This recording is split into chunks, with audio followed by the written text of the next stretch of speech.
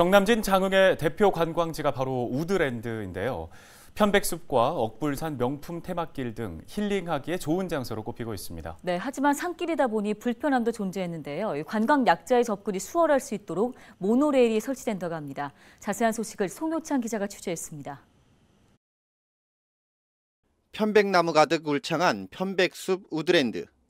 휴양림이라는 이름답게 곳곳에서 느낄 수 있는 편백나무의 향은 물론 다양한 생태 체험이 가능한 곳입니다. 하지만 가파르고 험준한 산길이라는 특성상 몸이 불편한 분들에게는 쉽게 다가서기 어려운 상황. 장흥군이 관광약자들의 불편을 최소화하고 접근이 수월할 수 있도록 모노레일을 설치하기로 했습니다.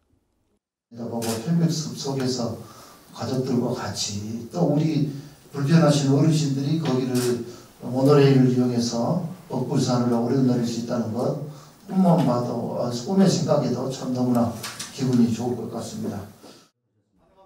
정남진 편백숲 모노레일은 장흥군에서 추진되는 대규모 민간 투자 사업입니다.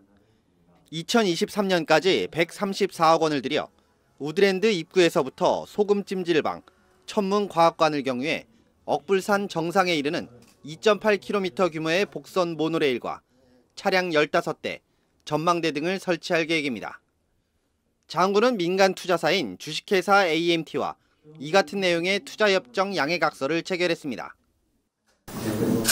이 사업을 성실하게 잘 수행해서 장흥 모노레일이 장흥의 관광 명소화가 돼서 히트치는 작품이 될 수 있도록 최선을 다하도록 그렇게 하겠습니다. 그동안 관광 약자들에게는 쉽게 다가서지 못했던 편백숲 우드랜드. 모노레일 설치로 누구나 쉽게 다가설 수 있는 대표 관광지로 우뚝 서길 기대해 봅니다. 헬로티비 뉴스 송희창입니다.